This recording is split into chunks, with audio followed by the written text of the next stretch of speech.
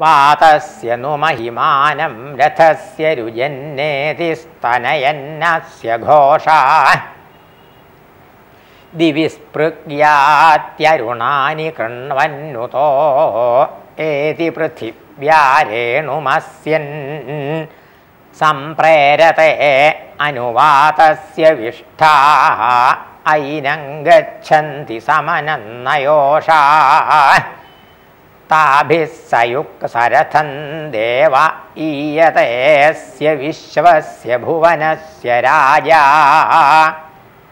अन्तरिक्षे पथिभिरीयमानो न निविशते कथमच्चनाः अपां सखा प्रथमजाः ऋतावाक्वस्विज्ञातः कुत आबभूवाः आत्मा देवानां भुवनस्य गर्भो यथा वशञ्चरति देव एषा।